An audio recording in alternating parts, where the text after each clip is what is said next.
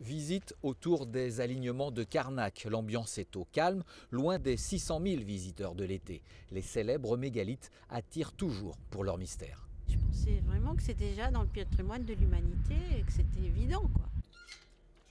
La seule protection pour le moment, c'est cette clôture qui empêche les visiteurs de piétiner les lieux. Certains menhirs risquaient de tomber. Un comble quand on connaît leur âge.